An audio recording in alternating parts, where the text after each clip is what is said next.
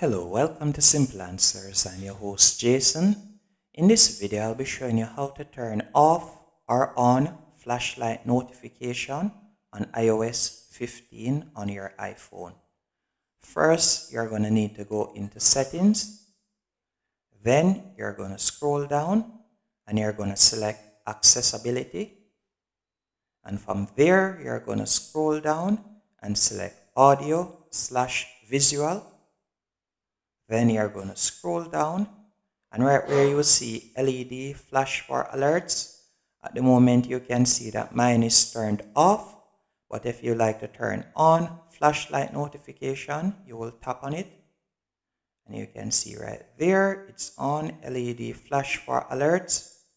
If you like to turn it off again, you'll simply tap on it and turn it to gray.